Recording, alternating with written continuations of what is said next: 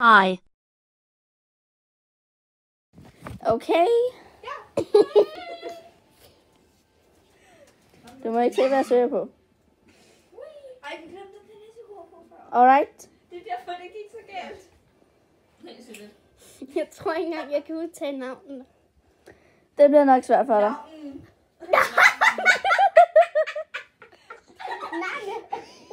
Jeg sagde navnen, og det var det, du sagde. Navlen. Navnen. Nej, jeg har skæg. Okay, hvad hedder ham? Hvad hedder han? Er det en ham? Ja. Uh, shit, hvad er jeg? What? Jeg ved det ikke. Dem, der kommer ud af fjernsynet. Det første navn, der falder dig ind. Lukas. Hvad hedder han? Jeg kan ikke læse. Kokichi. Kokichi. Så giv mig. Så prøv at finde en anden. Hvordan tror du, jeg kommer ud til, til at udtale en? Jeg kan ikke udtale De den. Dem her.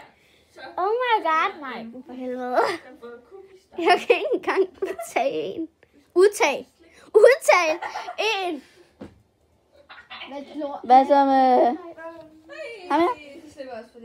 Den grimme idiot. Den er meget grim. Han er ikke engang en idiot. Nisha. Nej. Maiko. jeg, kan ikke læse det. Øhm, må jeg se. Nej. Kopier.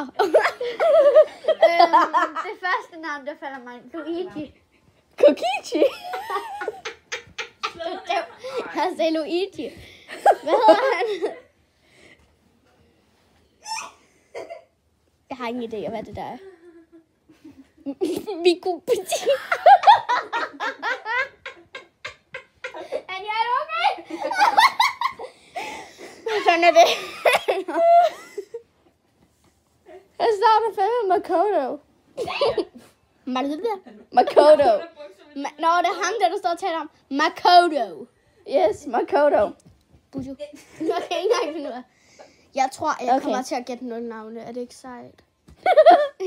er det ikke sejt, jeg er så cool? Ej, jeg har allerede, jeg er så god til det her.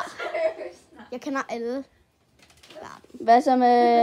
Jeg får en fod i hovedet for helvede, mand. Au, for helvede. Hvad så med hende her? En grim idiot. Ej, det virker Nej, din fod, mand. Altså. det virker ikke. Hold op for lille. Øhm, Carla. De jeg, Jeg har lige øhm, er det. fnidder. Jeg, jeg kan ikke finde ud af det. Jeg må se det. Nej.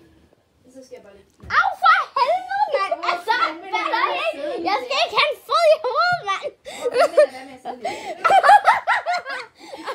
For helvede, mand. Der er din lange ben. Den person med langt lille hår. Øh, du det? Kitty girl.